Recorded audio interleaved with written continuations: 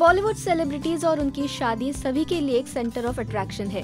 जब भी बॉलीवुड में किसी की भी शादी होती है फैंस बस देखते रह जाते हैं।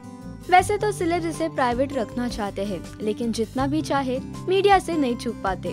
ऐसे ही एक रॉयल वेडिंग थी ऐश्वर्या और अभिषेक की, जो टॉक ऑफ़ द टाउन बनी। वेल अब 12 साल बाद इन्हीं के शादी के कुछ तस्वीरें वायरल हो रही है, जो शायद ही आपने देखी हो।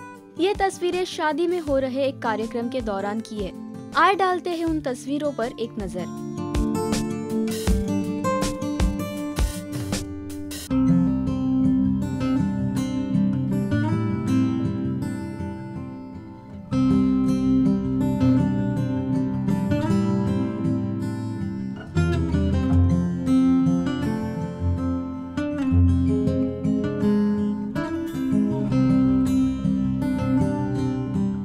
पुराने तस्वीरों को देख आपको कैसा लगा? आपके views do let us know in the comment section below also do like follow and subscribe to Bollywood now on Facebook Instagram and YouTube